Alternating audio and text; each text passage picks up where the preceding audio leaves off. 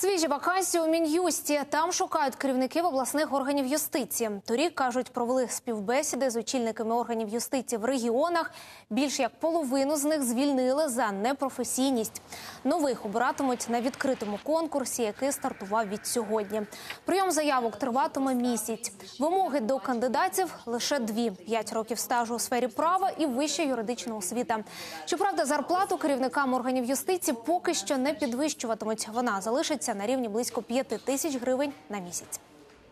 До нас доходили сигнали, що в деяких областях е, фонд, е, який залишався на премії в даній області, розподілявся дуже несправедливо. Лише керівник та його заступники отримували шалені премії, отримали по 35-40 тисяч заробітну плату на місцях, а весь інший апарат сидів з тисячою гривень на місяць. Цього більше не буде. Ми зібрали всі ці факти, і це також було з одних аргументів, коли ми спілкувалися на кадровій комісії з даними керівниками.